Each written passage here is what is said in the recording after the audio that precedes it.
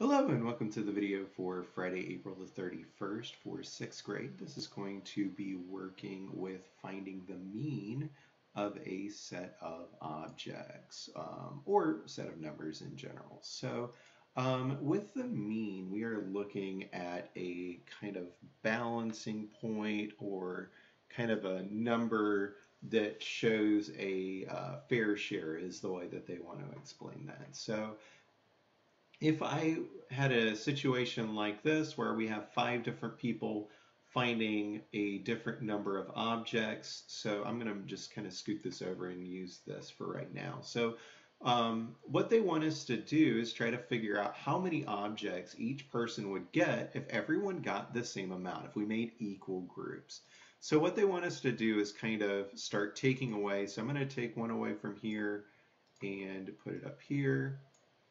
I could do that again. So I will take one from here.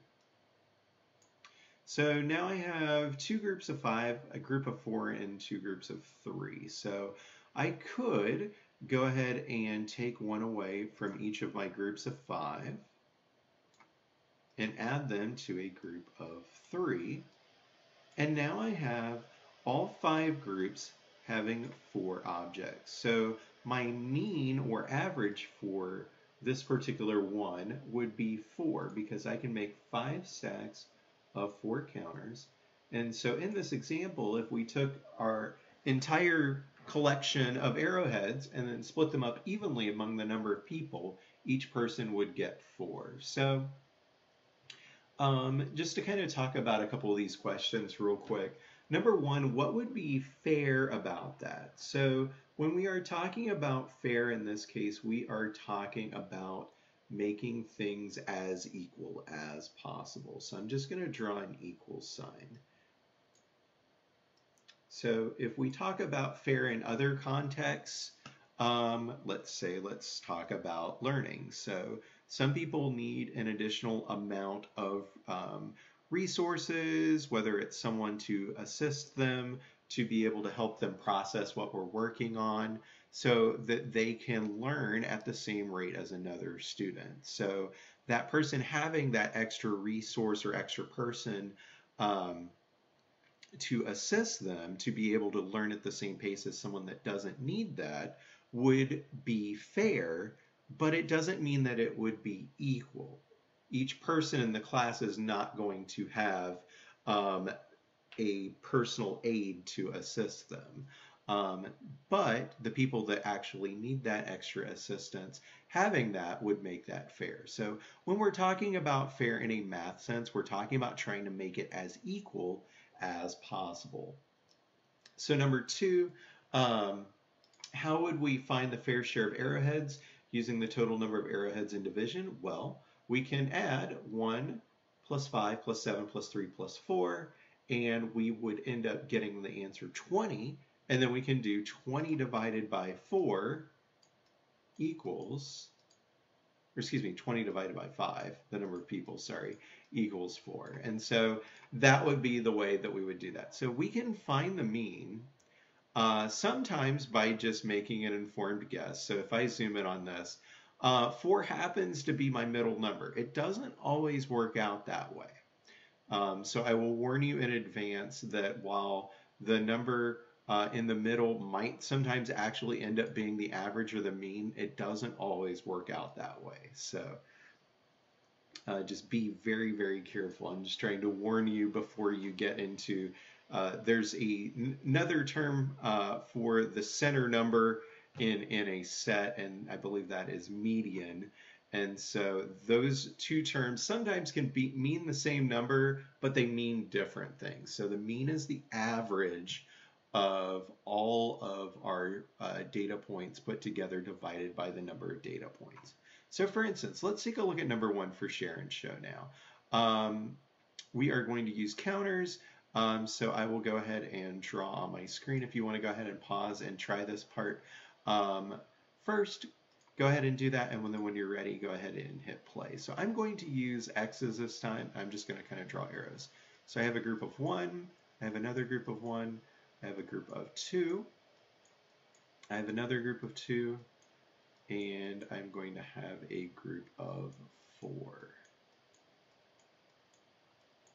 So looking at this picture, we can already tell that if we wanted to make it even with this, we're going to have to get rid of these two, and then we can move each of these to their own respective group of one to make a group of two, and that would end up working. So we are going to make five stacks of counters to start with, and we are going to rearrange the counters so that all the stacks have the same height, and so I'm not doing height, I'm doing kind of um, more of an array uh, because of what I had to work with. After arranging, each stack is going to have two counters, and so the mean is going to be 2. Now, that does end up being uh, the middle number of the three numbers, but um, again, there will be times that that will not always work. So let's take a look at number 2. And so on number two, we are going to make a um, um, dot plot. So um, instead of making X's, we were, we're going to make dots. Um, actually, I will probably go ahead and choose this color and I will expand this a little bit to make it easier to make my dots. So I'm going to have an orange dot on zero and that's probably a little bigger than I want. Uh, so let's shrink that down just a tad. That looks much better. All right, so I'm going to have two dots for one. Here's one, and then two. I'm going to have two dots for two. So one and two. I'm going to have one dot for 12. Now, if I were using, for this example, trying to figure out what was in the middle. Um, of the numbers that we have, two would be the closest to being in the middle, but um, Rosanna is saying the mean of the data is three. So let's figure out if that is going to be correct. So to start with, we can actually just do um, addition and then division to figure out whether it would work. So I'm going to show that part first. So we would do 12 plus 2 is 14, plus 2 is 16, plus 1 is 17, plus 1 is 18. We do 18 divided by the number of dots that we have, and that will give us our average or mean, and that would be 18 divided by 6 equals 3. So that part would be correct. Um, so Rosanna would be correct, and we can put yes So again, just because this is kind of the middle number of our options, actually the middle would probably, if we had a one and a half, would probably be that. Um, so for the mean, we have to take the total of everything together divided by the number of um, data points that we're using. So total distance from 3 um, for our values less than 3, it's going to be 1, 2, 3, 4, 5, 6, 7, 8, 9. The total distance from 3 for data values greater than 3 is going to be 1, 2, 3, 4, 5, 6, 7, 8, 9, 10. Um, I'm sorry, I did that wrong. I should have started here. 1, 2, 3, 4, 5, 6, 7, 8, 9. So our balance point um, that we're referring to, which I've never used really before, uh, when I was growing up. So this is kind of a newer concept for me. So if I'm not explaining this very well, I will try to find a better way to explain that to help you again. You can ask me in Google Classroom and I'll, I'll try to find a better way to explain that. So what they're talking about the balance point is they're trying to figure out um, if we get a same similar distance from three for everything here, and then comparing that to our amount that's greater than 3. And if they're both equal, then that means that is a balance point. If we had 10 on this side and we had 9 on this side, then that would not be a balance point. We'd have to figure out something a little bit different uh, to find what our mean is. So uh, Rosanna would be correct for that. So for the homework, we are looking at the following problems. So number one was already filled in for us, so uh, that leaves us with number two. And so for number two, they want us to figure out um, the mean. So we're going to have a group of one, a group of two, another group of two, and a group of three. Um, so if you make that picture, that will help you figure out what that should be. Uh, for number four, um, we want to figure out if we can arrange three baskets that have 8, 8, and 11 so that there's an equal number in each basket, and then to say why or why not. And explaining why or why not, you probably should give what the answer of the number in each of the baskets that you got. Uh, for number six, describe how to use counters to find the mean of a set of data. Um, you don't have to do the second, you don't have to do this part.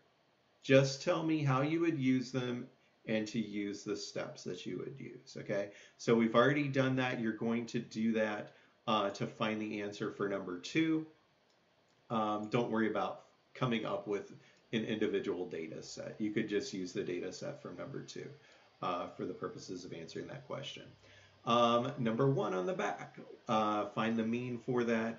And then we want to also find the mean for this. So we want to find what the average would be if we have a total of dollars equal to this divided by the number of people. So this might not be this middle number here. So just a uh, fair warning on that. So uh, hopefully that helps explain what we're working on for the lesson today. Again, if you have any questions, please feel free to ask in Google Classroom. I'll be more than happy to help you. The homework video will be coming out at 6 p.m. on Friday and our new packet will start on Monday. So um, if I don't see you in the next video, hope you have a great weekend and I will see you on Monday.